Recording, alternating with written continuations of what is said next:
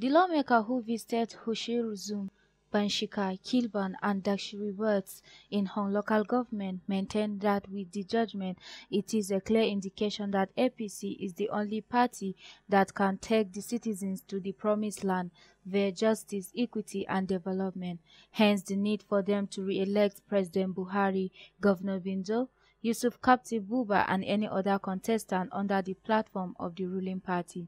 He said that despite the current economic situation of the nation, he had initiated and empowered youths and women, assisted educational sector, farmers and other people of the two local government with various projects that touch their lives at the grassroots. If given another mandate, he will complete all uncompleted projects and initiate new ones for the betterment of the electorate.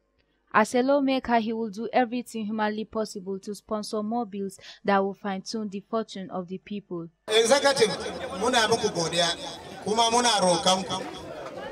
Muna riƙe mana amana. Daga shugaban kasa har.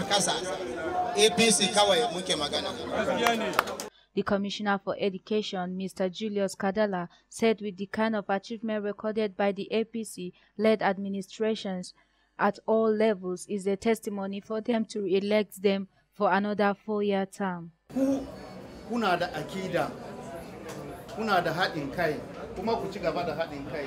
The administrator, Kulinyi Development Area, Mr. Francis Nathaniel, APC Chairman, Banshika Ward Usman Buba, and that of Hong, Bako Walia thanked the lawmaker for his foresight and promised him block votes at both primaries and general elections.